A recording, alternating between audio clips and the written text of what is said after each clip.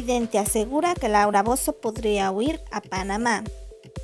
Pero antes te invito a activar la campanita de notificaciones para que te enteres pronto de las notas del momento. Y darle like al video si te gustó e interesó la nota.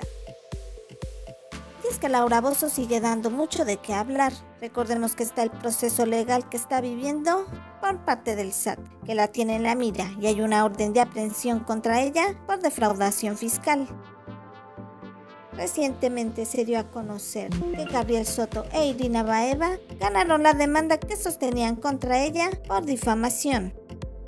Y ahora la vidente colombiana de Ceret Tavares aseguró que Laura Bozo seguramente huirá hacia Panamá. Aunque se sabe que aún sigue en Acapulco, esta vidente asegura que no será por mucho tiempo fue durante la emisión del matutino hoy, a donde asistió Deseret Tavares para leer las cartas del destino de la abogada de los pobres. Ahí aseguró que ella estaría a punto de escapar de México y dijo, Laura Bozo termina en Panamá, ayer lo miré, entonces vamos a ver las cartas para ver qué pasa con Laura. Dice que ya salió, que cambió de casa, pero esto es de país. Muestra la justicia en contra de ella muy fuerte, le va a caer. Dice que van a haber más documentos que van a salir a la superficie. Si ella llega a regresar a México, ella va a ir presa, expresó la vidente.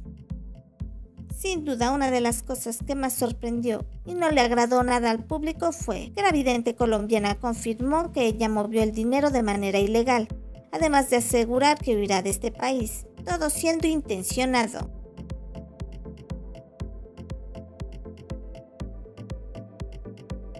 Gracias por tu interés en nuestras notas y si crees que esta información puede interesarle a alguien más, compártelo por favor.